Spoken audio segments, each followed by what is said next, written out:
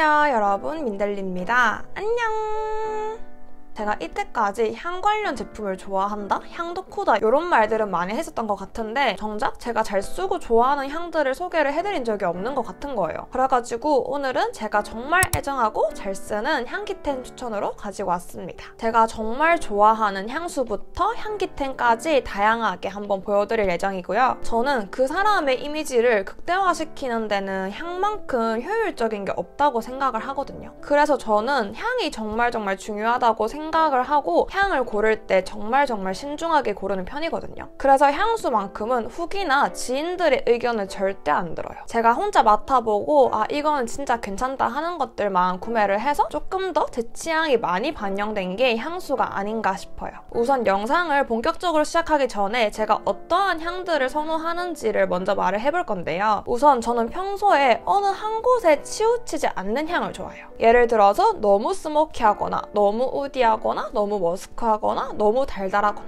이런 향들은 좀 안 좋아하고 저는 전반적으로 좀 이런 향들이 조화롭게 잘 섞인 향을 좋아해요. 예를 들어서 한 가지 향인데 여러 가지 향이 나는 걸 좀 좋아하는 편입니다. 그래서 저는 첫 향도 중요하지만 잔향을 좀 중요하게 생각을 하는 편이에요. 어떻게 보면 정말 무난하고 가벼운 향을 좀 선호하는 편이고요. 그래서 그런지 제 향을 맡았을 때 남녀 불문하고 다 호불호 없이 좋아했던 향들이 좀 많아요. 아무래도 제 나이대가 20대 중반이다 보니까 오늘 보여드리는 향수들은 거의 20대 초반부터 중반까지 좀 잘 쓸 수 있는 향들로 골라와 봤습니다. 그럼 오늘 영상도 저와 끝까지 함께 해주시길 바라면서 바로 영상 시작해볼게요. 시작! 첫 번째로 딥티크 Eau des Sens eau de toilette 이 향은 제가 20대 초반부터 작년까지 정말 정말 애용을 하면서 잘 썼던 그런 향수인데요. 우선 이 향의 노트를 먼저 보면 citrus flower spice wood 향이 좀 조화를 이루는 floral wood 향입니다. 그런데 맡았을 때 floral한 향보다는 fruity한 향이 강하긴 해요. 약간 오렌지의 향이 나거든요. 그래서 오렌지의 상큼한 향이 citrus한 느낌이랑 좀 조화를 잘 이루어서 마냥 상큼하진 않은데 조금 시원 시원한 향입니다. 저는 개인적으로 Eau des Sens가 딥티크의 identity를 좀 잘 나타내는 그런 향이라고 생각을 하거든요. 제일 딥티크스러운 향이 이 향인 것 같은데 이게 시원하지만 약간의 woody함이 섞여있기 때문에 마냥 가볍진 않아요. 마냥 가볍진 않은데 또 그렇다고 마냥 무겁지 않은 향이라서 저는 이거를 사계절 내내 정말 잘 사용을 했습니다. 이 향을 너무 좋아해서 제 시그니처 향으로 남길 원했었거든요. 이 향을 맡으면 제가 생각나게끔 그 정도로 정말 열심히 썼어요. 이 향은 진짜 남녀 호불호 절대 없을 거라고 생각을 하고요. 개인적으로 제 주위에서는 여자친구들보다는 남자친구들이 훨씬 더 좋아했어요. 이걸 뿌리기 시작했을 때부터 제 남사친들부터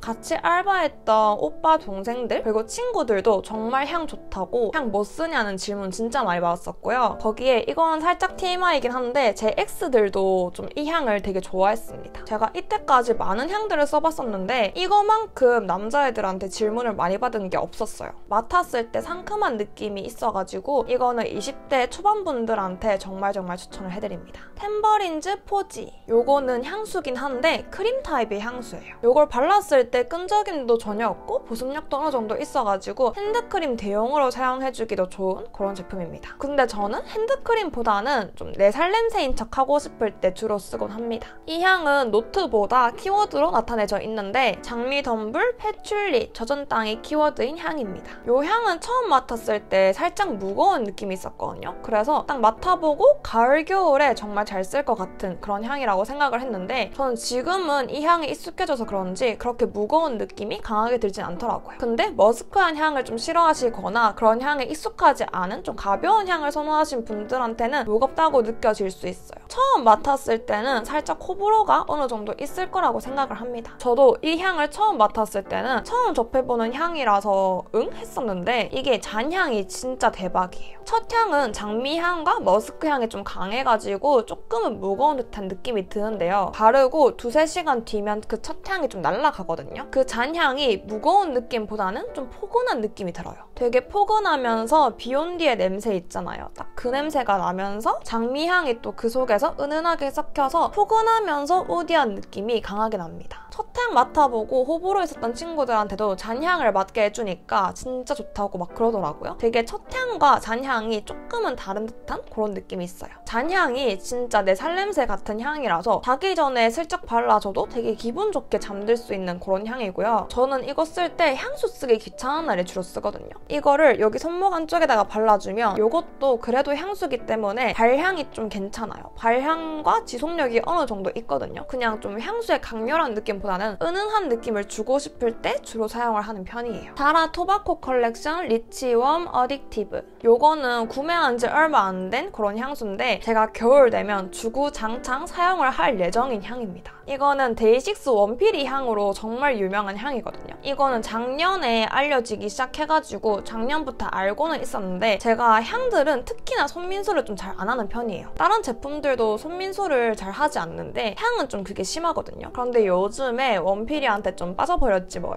원래도 원필이를 좋아했지만 요 정도까지는 아니었는데 요즘엔 덕질을 조금 deep하게 하다 보니까 원필이 향수를 좀 사고 싶은 거예요. 근데 원필이 향 중에서 되게 여러 가지 향들이 있거든요. 근데 이게 제일 잘 알려진 그런 향이고 원필이가 지금까지 잘 쓰는 향이라 가지고 샀습니다. 맡아보고 이거는 진짜 원필이 향이다. 이런 느낌이 딱 들더라고요. 진짜 이 향을 맡았을 때 그 원필이의 이미지가 바로 연상이 돼가지고 이거는 겨울에 진짜 무조건 뿌려야 되고요. 겨울에 아이보리 니트 입고 코트 입은 날 있잖아요. 그때 이거를 뿌려주면 진짜 너무 좋을 것 같아요. 이거는 자라의 homme 향수거든요. homme 계열인데 그 homme 향들의 특유의 극단적인 향 있잖아요. 너무 스킨 냄새가 나거나 아니면 너무 좀 머스크한 향이거나 너무 단 향. 약간 이렇게 homme 향이 특히나 좀 극단적인 성향이 있더라고요. 근데 이거는 그렇게까지 극단적인 향이 아니라서 맡아보고 음 이거는 좀 잘 쓰겠다 싶었어요. 왜 이거를 수많은 마이데이 분들이 손민수 했는지 알 것 같은? 우선 이거 노트들이 좀 많아요. oriental eau de toilette, 럼, white peony, 버번 바닐라 이렇게 구성이 되어 있는데 쉽게 말하면 첫 향이 초콜릿 향이랑 바닐라 향이 섞인 향입니다. 근데 여기서 바닐라 향의 비율이 조금 더 높아요. 진짜 엄청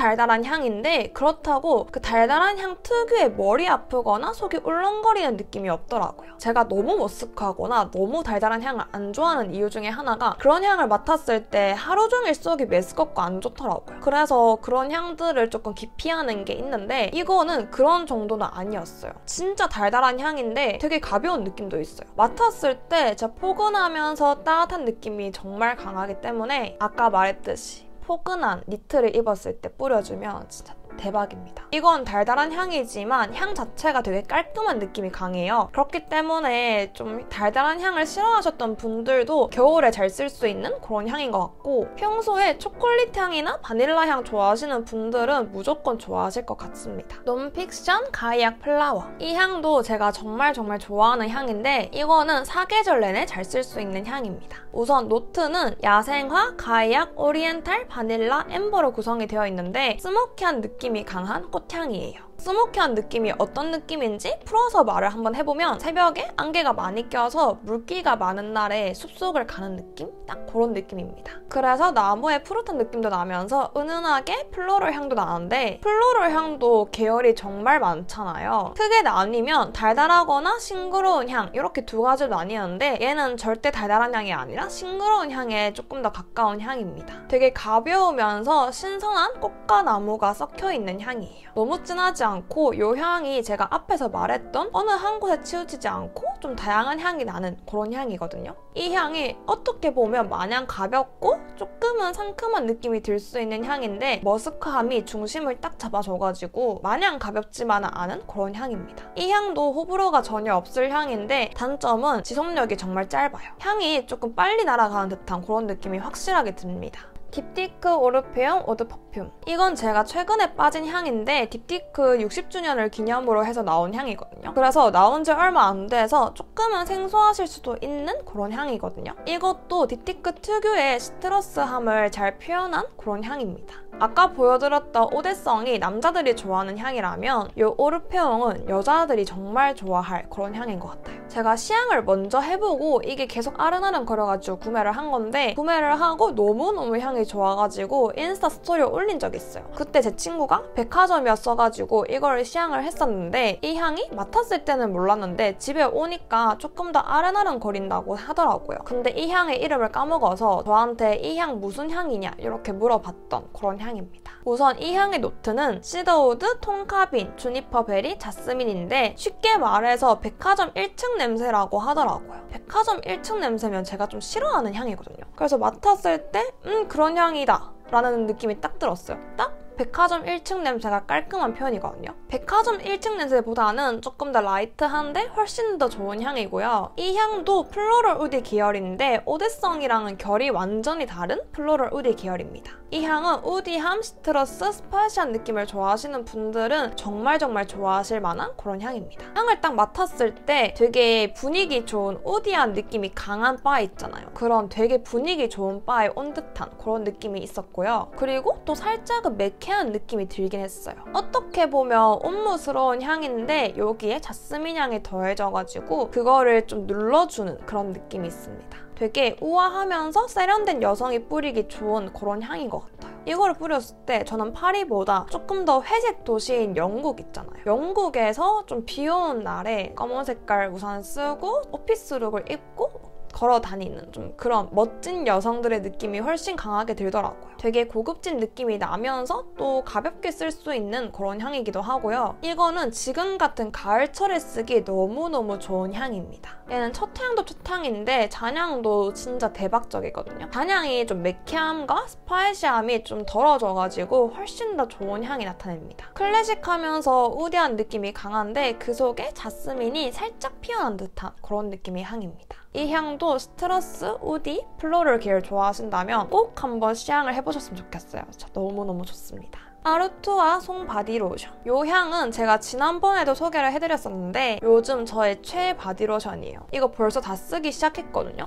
제가 집에 바디로션을 한 7개를 갖다 놓고 쓰고 있는데 그 중에서 제일 제일 손이 많이 가는 향입니다. 이거는 크게 말하면 비누향이에요. 비누향인데 저는 평소에 비누향을 그렇게 좋아한다고 생각을 하지 않았었거든요. 제 이때까지의 향 취향을 보시면 아시겠지만 저는 비누향보다는 citrus함을 훨씬 더 좋아해서 비누향은 제 취향이 아닐 줄 알았는데 이거의 노트를 보니까 이게 왜 제 취향인지 알겠더라고요. 우선 노트를 보면 citrus, floral, wood, amber, musk가 있습니다. 큰 틀을 보면 비누향인데 살짝의 citrus함과 wood 향이 조금 더해져가지고 마냥 애기향 같은 분내나는 그런 비누 향이 아닌 조금 더 성숙한 비누 향이라고 해야 할까요? 그런 느낌이 들더라고요. 그리고 밤에 샤워할 때 이거를 발라주고 자고 일어나면 그 다음날까지도 몸에 이 향이 은은하게 배어있거든요. 진짜 사람을 기분 좋게 만들어주는 향이더라고요. 이걸 발랐을 때 조금 더 뽀송한 느낌이 들고 조금 더 상쾌하고 기분이 훨씬 더 좋아지는 그런 향이었습니다.